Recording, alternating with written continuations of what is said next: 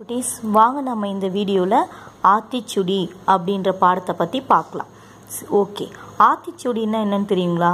ஆத்திச்சுடின்னா அவ்வை பாட்டின்றவங்க ரெண்டாயிரம் வருஷங்களுக்கு முன்னாடியே நம்மளுக்காக எழுதி வச்ச நல்ல பழக்க வழக்கங்களுக்கான நூல் தான் ஆத்திச்சுடி. ஓகே. ஆத்திச்சுடியில் வந்து பார்த்தீங்கன்னா நன்மை கடைப்பிடி அப்படின்னு நம்மளுக்கு சொல்லியிருக்காங்க. ஃபஸ்ட்டு நன்மை கடைப்பிடி அப்படின்னா என்ன அர்த்தம்? நம்ம ஸ்கூலுக்கு வந்து படிக்கிறது என்பதே நல்ல விஷயங்களை கற்றுக்கிறதுக்காக தான். அதுக்கப்புறம் தான் படிக்கிறது மார்க் வாங்குறது எல்லாமே. அந்த நல்ல விஷயங்களை நீங்கள் எப்படி கண்டுபிடிக்கணும்? எப்படி கற்றுக்கணும் அப்படின்ட்டு பார்க்கலாம். நீங்கள் எல்லாம் குட்டி பாப்பால அதுக்காக இந்த பொம்மை படம் மாதிரி ஒரு கதை மாதிரி உங்களுக்கு ஆத்திச்சுடி வந்து நம்மளுக்கு சொல்லியிருக்காங்க. ரொம்ப இன்ட்ரெஸ்டிங்காக இருக்கும். வாங்க பார்க்கலாம். உங்களை மாதிரியே ரொம்ப அழகாக குட்டியாக ரெண்டு முயல் வந்து இருந்துச்சான் அந்த ரெண்டு முயலும் ஜாலியாக ஒரு நாள் விளையாடிக்கிட்டே இருந்துச்சான் பாரு அப்போ ஒரு முயல் சொல்தான் ஏ அது பாருப்பா ஒரு மரத்துல இருந்து ஒரு பழம் விழுது அப்படின்னு சொல்லிச்சான். உடனே இன்னொரு முயல் சொல்லிச்சான் அதை நான் தான் பார்த்துட்டேன். ஓடி போய் குடுகுடுன்னு நான் எடுத்துக்கிறேன் பாரு. ஏன்னா நான் ஃபாஸ்ட்டாக ஓடுவேன் வேகமாக ஓடுவேன் அப்படின்னு சொல்லிச்சான். ஆனால் இன்னொரு முயல் சொல்லிச்சான் இருப்பா ரெண்டு பேரும் போய் எடுத்துக்கலாம். ஏன் ஃபாஸ்ட்டாக ஓடுற வேகமாக ஓடுற? அப்படின்னு கேட்டுச்சான்.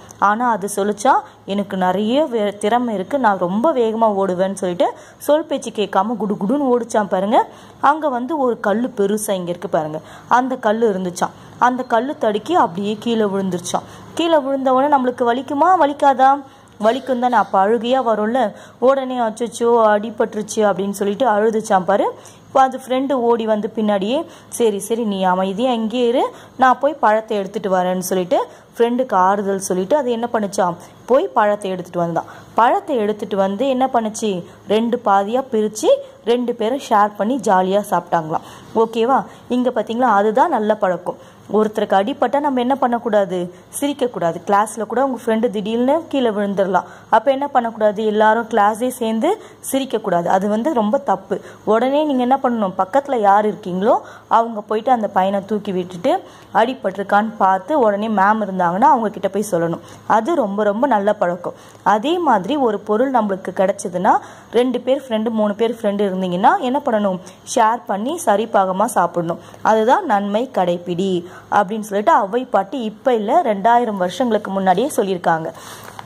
சில குட்டீஸ் இங்கே பாருங்க இந்த கதையில் நிறைய எதிர்ச்சொல் வந்து இருக்குது பார்க்கலாங்களா அதோ தூரமாக ஏதாச்சும் ஒரு பொருள் இருந்ததுன்னா அதை நம்ம எப்படி சொல்லணும்? அதோ அப்படின்னு சொல்லிட்டு சொல்லணும். நம்ம பக்கத்துலேயே ஏதாச்சும் இருந்துச்சுன்னா அதை குறிப்பிடுறதுக்கு என்ன பண்ணணும்? இதோ அப்படின்ட்டு சொல்லலாம்.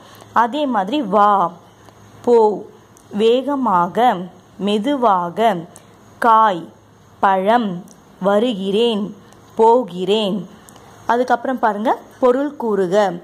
தின்னலாம் சாப்பிடலாம். தின்னலாம்னா என்ன அர்த்தம்? சாப்பிடலாம். பாதி. பாதினா அரை சதவிகிதம். முழுசாக இப்படி ஒரு திங்ஸ் இருந்துச்சுன்னா அதை சரி பாதியாக பிரிக்கிறது பேர் தான் பாதி அப்படின்னு சொல்லுவாங்க. அது எந்த ஷேப்பில் வேணால் இருக்கலாம். சமோசா மாதிரி இருந்தால் என்ன பண்ணலாம்? இந்த மாதிரி பாதியாக ஷேர் பண்ணி உங்கள் ஃப்ரெண்டும் நீங்களும் சாப்பிட்லாம். ஓகே சில குட்டீஸ் நம்ம அடுத்த ஆத்திச்சுடியில் பார்க்கலாம்.